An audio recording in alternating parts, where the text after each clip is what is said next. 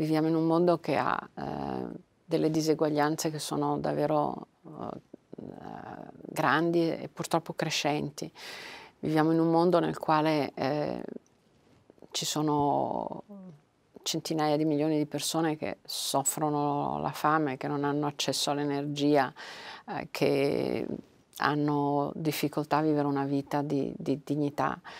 Viviamo in un mondo nel quale l'ambiente è sempre più uh, bistrattato e, e, rischiamo davvero di avere un, un, un pianeta che non, non, già quest'anno, l'anno scorso, nel 2018, in agosto, avevamo già uh, superato uh, le riserve che, che, il nostro ambiente ci, ci dona e quindi consumiamo, consumiamo l'ambiente.